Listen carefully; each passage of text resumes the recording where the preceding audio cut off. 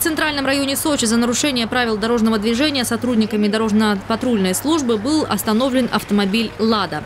Пока его водитель предъявлял документы полицейским, пассажир в салоне начал нервничать и испуганно что-то пытался спрятать.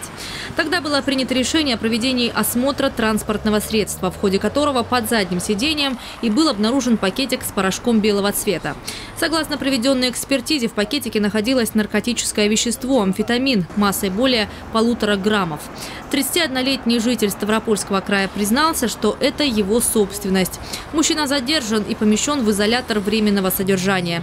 В отношении него возбуждено уголовное дело. Санкции статьи предусматривают максимальное наказание в виде лишения свободы на срок до 10 лет. В настоящее время известно, что он ранее неоднократно привлекался к уголовной ответственности, имел богатое криминальное прошлое. В настоящее время мужчина взят под стражу. По данному факту возбуждено уголовное дело по части 2 статьи 228 Уголовного кодекса Российской Федерации.